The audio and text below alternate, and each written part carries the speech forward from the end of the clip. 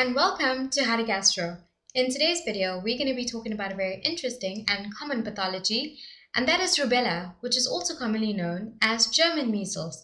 So let's get started. So what is rubella? Rubella, also commonly known as German measles or three-day measles, is a common childhood infection which is caused by the rubella virus. Individuals infected with rubella usually have a mild illness with symptoms that can include a low-grade fever, a sore throat, swollen lymph nodes, and a rash that starts on the face and then spreads to the rest of the body. However, it can be a very serious condition in pregnant women as it may go on to cause something called congenital rubella syndrome in the developing fetus. So from this definition of rubella, we get that it's a common childhood infection, but it can actually infect adults, and the disease is actually caused by this virus called the rubella virus. So most individuals who become infected with rubella usually have a mild illness, and they do develop some symptoms which include a fever, a sore throat, some swollen lymph glands, and a rash which characteristically starts on the face and then spreads to the rest of the body. Something very interesting though about rubella is that it can actually be a very serious complication in pregnant women. So women who are pregnant who contract the disease may go on to suffer some devastating effects in connection with their fetuses or their developing fetuses. And that is when we have something called congenital rubella syndrome. And we will explore this topic further as this video goes along. So now that we know what the basics of rubella is, let's take a closer look at what this congenital rubella syndrome is all about. So congenital rubella syndrome is the transplacental infection of the fetus with rubella and usually occurs in the first trimester of pregnancy as a consequence of maternal infection. And this results in various development abnormalities in the newborn infant and they may include cardiac and ocular lesions, deafness, microcephaly, which is a very small brain, mental retardation, generalized growth retardation, which presents as purpura, anemia, hepatitis, encephalitis, and radiolucencies of the long bones. So something very sad, which may occur in some pregnant moms, is this transplacental transmission of the rubella virus from the mother to their unborn child.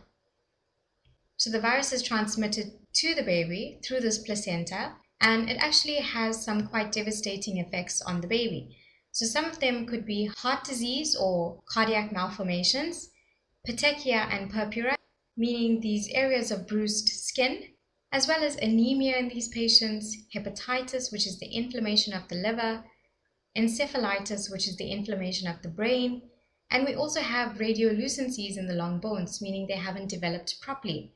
These patients can also suffer deafness, mental retardation, and some eye anomalies may include cataracts in these newborns, glaucoma, strabismus, nystagmus, microphthalmia, and an iris dysplasia.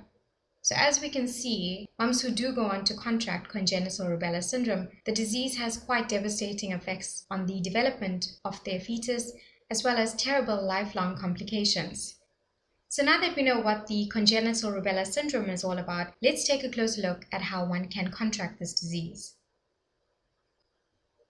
So rubella spreads when people breathe in the virus-infected fluid, such as the droplets sprayed into the air when a person with rubella sneezes or coughs or shares food or drink with someone who's infected. It can also pass through a pregnant woman's bloodstream to infect her unborn child, so as we mentioned in the slide previously. So something very important to note is that rubella can be prevented by the rubella vaccine. So the disease is actually pretty contagious and spreads pretty easily when someone coughs up or sneezes these viral particles and they actually are able to infect a nearby person when they inhale all these droplets in the air. It can also be transmitted through the sharing of food. So if we have one child who's infected by sharing food or drinks with someone who's uninfected, the uninfected person here is at very high risk of contracting the disease. And the last way in which the infection can be spread, as we mentioned in the slide previously, is transplacentally. So from a pregnant mom who's contracted the disease she can actually pass the disease onto her unborn child. So as we mentioned in the slide before, rubella can actually be prevented from the rubella vaccine. So rubella can be prevented with the MMR vaccine, and this vaccine protects individuals against three diseases, mumps, measles, and rubella. And the worldwide recommendation for this vaccine is that children get two doses, starting with their first dose at 12 to 15 months of age, and then the second dose at 4 to 6 years of age. So teens and adults should also be up to date with the MMR vaccine. And the MMR vaccine is actually safe and effective, and one dose of it is about 97% effective at preventing the onset of rubella.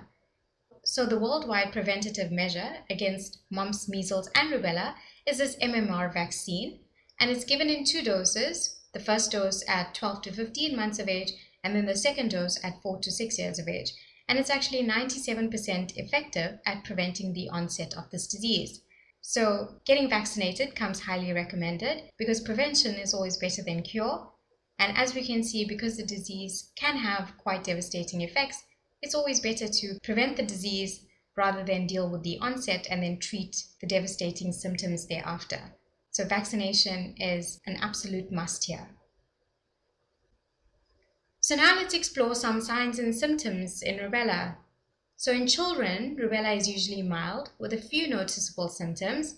The rash generally first appears on the face and then spreads to the rest of the body and lasts about three days.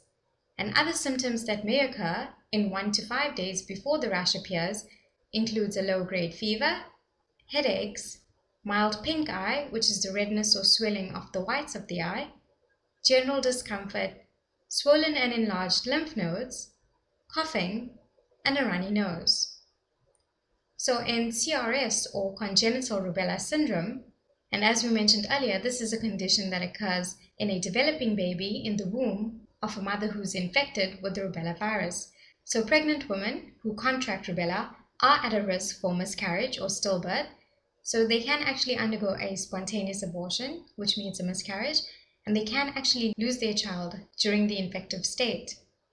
And as we mentioned before, their developing babies are at risk for severe birth defects with devastating lifelong consequences. So the most common birth defects from the congenital rubella syndrome can include deafness, cataracts, heart defects, intellectual disabilities, liver and spleen damage, a low birth weight, and a skin rash at birth. So now let's talk about the diagnosis of rubella.